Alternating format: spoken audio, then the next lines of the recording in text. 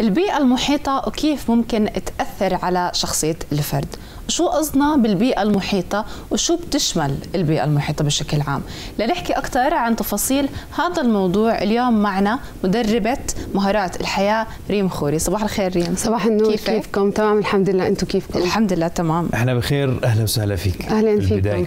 كثير بنسمع ناس بتقول لك آه، نفسي أطور نفسي بس اللي حوالي مثلا مش مساعديني. أكيد. آه نفسي أتغير. أهلي ما عم بدعموني. آه البيئة المحيطة. تؤثر على الشخص. بس كبداية لو نعرف إيش هي البيئة المحيطة اللي ممكن آه، تكون سبب بتكوين شخصية أي إنسان. هلا شخصية أي إنسان معروف اللي هي بتحسها يعني ناتج يعني محصول من البيئة اللي هو عايش فيها إن كانت البيئة العيلة نعم. ولا آه، التعليم بالمدرسة بالجامعة الشغل آه، الأصحاب الحياة الاجتماعية اللي هو عايشها العلاقات العاطفية هاي هي البيئة اللي بتكون حوالين الإنسان هي بتشكل شخصية الإنسان جميل. بغض النظر من من طفولته أو لما يكبر كلياتها هاي عوامل بتساعد بتشكيل صحيح. شخصية الإنسان. طبعا. صحيح. هلا البيئة المحيطة هي يعني مصطلح شامل. البيئة المحيطة بالطفل الصغير بتكون هي بس عيلته. لما يكبر شوي بتصير عيلته ومدرسته مدرسته. يكبر شوي بصير جامعة بصير كذا. كل ما بيكبر الشخص تكبر هاي البيئة. أكيد. هل مع تطور آه، المراحل العمرية للشخص ممكن برضه تأثر على أو تتغير شخصيته؟ يعني حسب تطور البيئة المحيطة اللي حواليه. أكيد. بس هلا معروف العامل الأسري هو النواة الأساسية لتشكيل شخصية الطفل. يعني صحيح. الطفل بتتشكل شخصيته أول سبع سنين من عمره. هلا الأسرة هي العامل الأساسي بتشكيل هاي الشخصية. ليش؟ لأنه سلوكيات الأسرة آه، تعاملهم آه، التوازن العاطفي بالبيت آه، الأخلاقيات الدين كل هاي الأشياء بتشكل شخصية الطفل. هلا لما تتشكل شخصية الطفل بالأسرة هون بياخذ هاي الشخصية معاه على البيئة اللي بده يروح عليها بعدين سواء صحيح. كانت مدرسة سواء كانت جامعة سواء كان شغل أو بعلاقاته العاطفية فدائما بيحكوا الأساس أو النواة الأساسية بتشكيل الشخصية اللي هي الأسرة. فهاي أول محيط بشكل شخصية الطفل. صحيح. بعدين من هون بتترتب كيف بدها تكون شخصيته بالمراحل الثانية أو البيئات الثانية اللي بده آه، يواجهها بعدين. صحيح معك حق. ودائما آه، أحمد برضه بنشوف آه، إنه فعلا الأساس هي الأسرة. يعني إذا الأسرة كانت مش سليمة أو فيها مشاكل دائما بنشوف في بيطلع زي ما نحكي ثغرات بشخصية هذا الطفل لأنه هم نعم. الأساس دائما البداية فعلا دائما هي عند دور الأهل كما تفضلتي آه. آه لو بدنا نحكي كمان آه بعد الأهل في الشخص حيروح للمكان التعليمي مدرسة أكيد. جامعة هون كيف ممكن يأثروا أيضا على هذا الشخص؟ هلا هون بتصير بصير الموضوع أصعب. يعني أنت بالأهل بالأسرة أنت عم تحكي عن آه، بيئة يعني صغيرة صحيح. مقارنة ببيئة التعليم سواء كانت بمدرسة سواء كانت بجامعة. أنت عم تحكي عن محيط أكبر وبتحكي عن بيئات مختلفة. يعني بالأسرة بتحسي الناس شوي هيك كلياتنا بنشبه نفس الأفكار باختلاف تقريبا. باختلاف بسيط. بس لما أنت تنقل على مدرسة أو تنقل على جامعة أنت عم تحكي عن بيئات كثير مختلفة. فهون تأثير تغيير البيئة بالتعليم سواء كان مدرسة أو كان جامعة بده يكون شوي صعب. عشان هيك دائما بيحكوا إنه إذا كان الأساس منيح أنت بتسحبه معك للبيئة اللي بعديه. صح. فالشخص إذا كان مثلا عنده الشخصية المنيحة أنا دائما بقسم الشخصية لنوعين اللي هي الشخصية الناجحة والشخصية أنا بسميها المسقطة. الشخصية الناجحة اللي هي بتكون خلص كونت شخصيتها وين ما تحطيها بأي بيئة هي بتزيد نجاحها. الشخصيه المسقطه بالعكس اللي هي كل ما تنتقل على بيئة ثانية بتحاول بتحاول إسقاط تأثر الناس اللي حواليها, حواليها. صحيح. هلأ بالجامعة بالمدرسة في هدول النوعين من الشخصيات فإنت هون بتنقي وين بدك تروح يا على الشخصية الناجحة يا على الشخصية المسقطة. فأكيد هاي البيئة وين أنت بتحط حالك أكيد بدها تأثر عليك.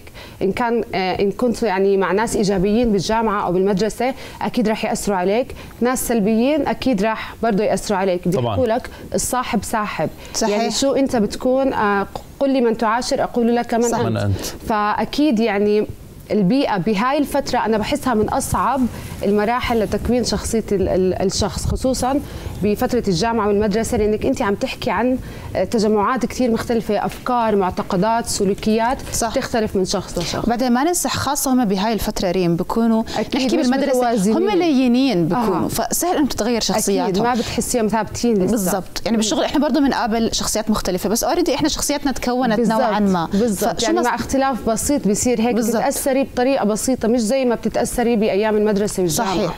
هلأ آه إنه إحنا نقدر نغير البيئات المحيطة زي ما نحكي إحنا مدرسة جامعة هذا شيء صعب, صعب. الشيء اللي بنقدر نشتغل عليه دائما إحنا حالنا. حالنا والبيئة الصغيرة اللي إحنا طالعين منها هي أكيد. الأسرة. فكيف ممكن أنت تنصحي الأهالي بشكل عام إنها تكون البيئة اللي يقدروا يوفروها هم لاطفالهم حتى يطلعوا هم أشخاص سويين؟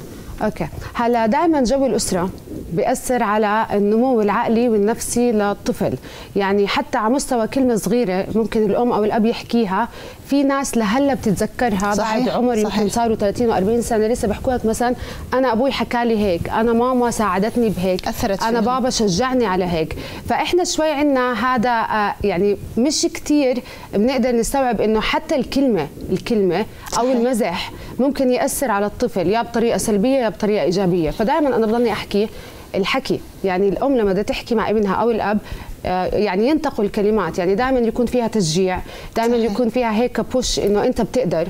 يعني طول ما أنت بتحط الإيجابية بالبيت ابنك رح يصير يآمن بالشيء الإيجابي. هو هون بيخلق بحاله الثقة. أنا بالنسبة لي الشخص أهم شيء بتكوين الشخصية يعني خصوصا من هم صغار الثقة بالنفس. لما يكون عندك أنت self confidence رح توصل مرحلة حتى بالتعليم بالشغل نعم. بعدين رح توصل مرحلة إنك عارف شو عم بتساوي. هذا واحد. ثاني شيء بدهم يعلموهم على الاختلافات يعني يتقبلوا النقد آه، يتقبلوا إنه في ناس غيرهم بيفكروا بطريقة ثانية مش إنه أنت طريقتك بس الصح. هلأ جو الأسرة من أو حنان عاطفي الأخلاق آه، العادات يعني إحنا بمجتمعنا كلها هاي بتبني أو بتسقل شخصية الطفل من وهو صغير. هاي الشخصية هو بده ينقلها على الأماكن اللي بده يروح عليها بعدين سواء تعليم سواء شغل سواء بعلاقاته العاطفية أو لبعدين. فهون الأساس. فدائما يعني لازم يهتموا إنه جو الأسرة كثير مهم بصقل شخصية الطفل من وهو صغير. صحيح. دائما دائما بحس أنا لما بنقابل هيك لقدام أشخاص إحنا عندهم مشاكل نفسية أو بنقدر نحكي إذا بترجعي عليها بتكون صغار. دائما هيك أي عقد نفسيه بترجع بتلاقي مشكلة من الأهل. يا هم ما عززوا ثقتهم بحالهم. بالزبط. يا هم ما أشبعوهم بالحنان الكفاية فبيطلعوا هم أشخاص. في عندهم فراغ فبيحاولوا يعبوه بطرق مختلفة ممكن تكون طرق بطريقة ثانية غلط بالضبط. يعني بكل أساس وحاورنا أيضا ضيوف سابقين ومنهم طبيب أسرة وأطفال دائما التكوين الأساسي يبدأ من الأهل صحيح. والأسرة. أكيد. 100% ومرة بحكي هيك شغلة دارجة عندنا مثلا ممكن الأهل أقل ما فيها يتداركوها التوبيخ.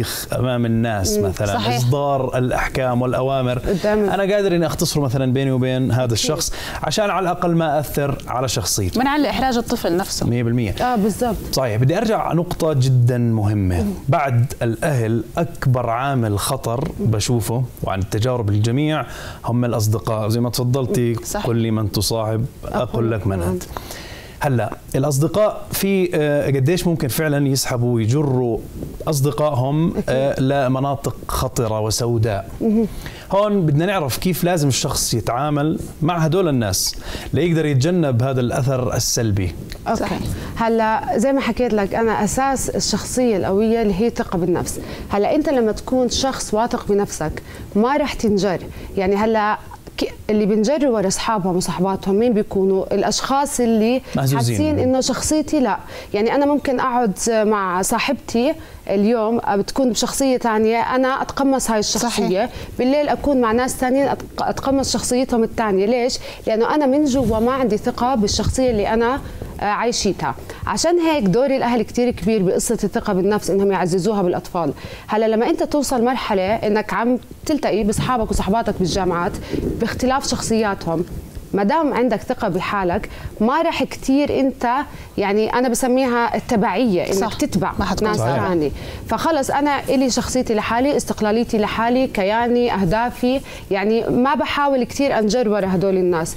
أنا بهمني أكثر شيء بهذا الموضوع أحكي عن الثقة بالنفس عن جد. الواحد إذا كان واصل لمرحلة واثق بحاله كثير صعب ينجر ورا ورا أي حدا. 100% بس هون كمان في شغلة مهمة وحكيتي أحد خلال كلامنا عن موضوع العادات. عندنا اعتقاد خاطئ آه إنه بكون عارف مرات إنه صديقي مثلا سيء أو بجر لإشي مش منيح. الاعتقاد تبعنا بيحكي لك إنه ضلي معه عادي ممكن نضل آه يعني معه سنين. موضوع تغيير الأصدقاء هذا إشي جدا وارد وطبيعي. صحيح. يعني أنا اليوم جاي بعلم معين بمعرفة معينة وإلي عارف وين مكاني لازم يكون بالمجتمع. وفي تربطني علاقة صداقة بسنين ممكن مع شخص بس هذا الشخص بمرحلة مراحل حياته عم بتغير وبيجرني لإشي مش منيح. طبيعي إني أتركه. عندنا اعتقاد إنه لا هاي تعتبر خيانة أو تعتبر قلة وفاء. لا عادي يعني. صديق غير بالزبط. عن طموحي وغير عن الخط اللي أنا ماشي فيه. ببعد عنه. 100% هلا في كمان اوبشن ثاني مثلا ممكن أنت تحاول تغيره. إذا ما رضي يتغير أكيد تبعد عنه. بالعكس أنا دائما ضلني أحكي الناس السلبيين أو بدها تاخذك لطرق سلبية اقطعها من أولها. يعني حتى ما تنجر معهم. لو لمكان يعني هيك قريب ما تنجر مع السلبية. ما فيها لا قصة عيب ولا فيها قصة حياة ولا فيها قصة إنه هذا ابن مثلا فلان قرايب بابا ولا أصحاب بابا ولا هاي القصص اللي إحنا دائما عايشين بس عشان آه، معتقدات المجتمع. آه فلا بالعكس. إذا أنت ما توافقت مع هذا الشخص طوالي اقطع العلاقة سواء بالجامعة بالدراسة بالشغل بعلاقاتك العاطفية. بالعكس ما دام أنت عارف حالك خلص اقطع طوالي. طبعا لازم. صحيح زي ما حكيت وزي ما حكى أحمد كمان. آه بيأثر أنا وجودي مع أشخاص سلبيين هذا الشيء بيعديني. بنفس الوقت لما أكون أنا مع أشخاص إيجابيين. إيجابيين أنا دائما احكي طاقة معديه يعني 100% انتقاء الأشخاص حوالينا هو شيء كثير مهم وهذا بعتبره أنا من الذكاء وليس انه ممكن أكون أنا لا عم بخون صديقي لا أو ابدا. بحاول أغيره. في حال هو كان في فجوة بيني وبينه. أكيد ببعد عنه. ببعد عنه بالضبط.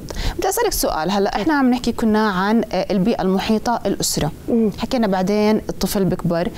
تتسع هاي الدائرة بصير في بيئة أكبر مدرسة وبعدين ممكن تتسع تصير جامعة. دور الأهل ب نقدر نحكي مش اختيار أصدقاء أطفالهم. نقدر نحكي إنه أوقات كثير بنشوف إحنا بنسمع طول عمرنا بتيجي بتحكي لك مثلا والدتك إنه هاي البنت أنا مش مرتحت لها أو أنا حاسة إنه في شيء غلط ابعدي عنها. دور الأهل أوقات إنهم ينصحوا أطفالهم إنهم يبعدوا عن أصدقاء معينين أو عن بيئة معينة. برأيك هل بتأثر هي آه، أوقات على شخصية الطفل؟ 100% 100% هلا انت ما بتقدري تضلك ملاحقه ابنك أو بنتك بكل مراحل حياته لأنه في مراحل بدك انت تكون يا يعني ما رح تقدر تلحق على كل مرحلة بمرحلة. صحيح. فالأسهل للأهل إنهم يبنوا شخصية الطفل زي ما حكينا من أول من محيط الأسرة بأول عمره. هلا انت لما تسقل شخصية ابنك بهذا يعني يعني بهاي يعني هاي الشخصية ما رح تكون كثير خايف إن كان صار هو بالجامعة ولا إن كان صار بالشغل أو انت أو أو باختياراته العاطفية بعدين أو أي شيء بده يساويه بحياته.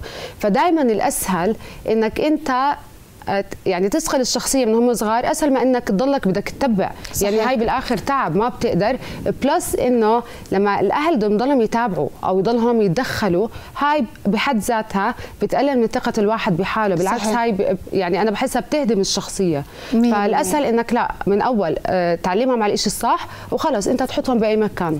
صحيح, صحيح. معك حق. 100% يعني معلومات جميلة وحوار شيق معك. صحيح. والموضوع جدا مهم لأنه فعلا آه، يؤثر على شخصية أكيد. الإنسان وطريقه تعامله أكيد. بالمجتمع. إن شاء الله بنشوفك كمان بفقرات إن شاء قادمة الله إن شاء الله. أو حلقات قادمة. بهاي المواضيع المهمة. شكرا شكرا لك يعطيك الف عافيه ثانك يو